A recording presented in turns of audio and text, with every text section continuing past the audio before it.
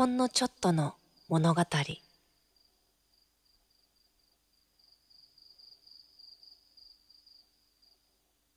皆さん2022年明けましておめでとうございます。今年もよろしくお願いいたします。新しい年がやってまいりましたね。昨日は雪も降ったりしてとても寒い日を過ごしました。私はというともっぱらこたつに入りながら音楽を作ったり映画を見たり焼き芋を食べたりそんな風に暖かく過ごしておりました。あそうだ。物語を読まないと。ということで今宵は村上春樹さんのノルウェーの森の中からほんのちょっとの物語をお送りいたします。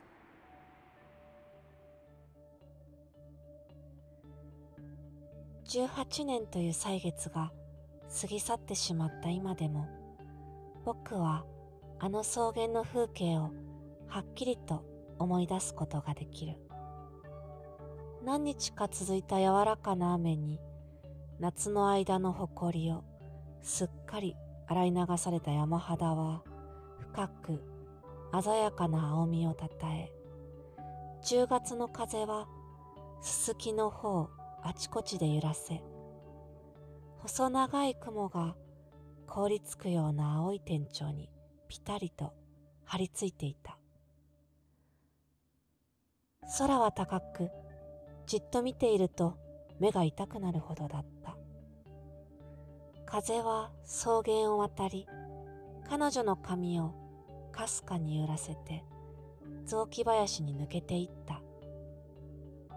梢の葉がさらさらと音を立て遠くの方で犬の鳴く声が聞こえた。まるで別の世界の入り口から聞こえてくるような小さくかすんだ鳴き声だった。記憶というのはなんだか不思議なものだ。その中に実際に身を置いていた時僕はそんな風景にほとんど注意なんて払わなかった。特に印象的な風景だとも思わなかったし18年後もその風景を細部まで覚えているかもしれないとは考えつきもしなかった。正直なところその時の僕には風景なんてどうでもいいようなものだったのだ。僕は僕自身のことを考えその時隣を並んで歩いていた一人の美しい女のことを考え僕と彼女とのことを考えそしてまた僕自身のことを考えた。それは何を見ても何を感じても何を考えても結局すべてはブーメランのように自分自身の手元に戻ってくるという年代だったのだ。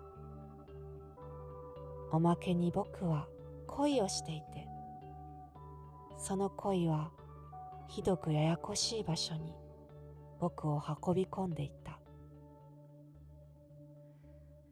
周りの風景に気持ちを向ける余裕なんてどこにもなかったのだ。でも今では僕の脳裏に最初に浮かぶのはその草原の風景だ。草の匂いかすかな冷ややかさを含んだ風。山の稜線犬の鳴く声。そんなものがまず最初に浮かび上がってくる。とてもくっきりと。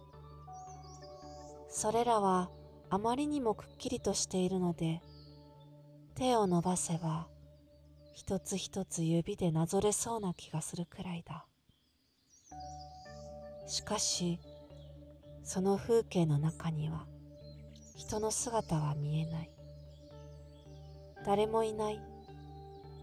直子もいないし僕もいない。我々は一体どこに消えてしまったんだろう？と僕は思う。